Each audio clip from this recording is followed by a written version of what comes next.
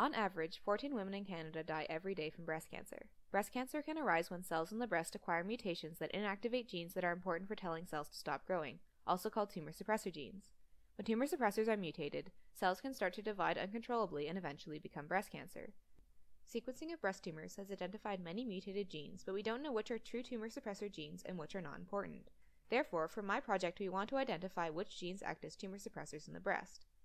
To do this, we disrupt genes we think may be involved in human breast cancer in a mouse model using CRISPR Cas9 gene editing, which acts as molecular scissors that cut DNA, disrupting the targeted gene. This method allows us to specifically target genes we see mutated in patients to test their role in our mice. We do this on a huge scale, making mutations in over 200 different genes in different cells. These mice then develop tumors, which we sequence to identify what gene is mutated and therefore which genes are acting as tumor suppressors. We are now investigating the genes we have identified with the hope that they can be targeted by therapies which could then be applied to human patients.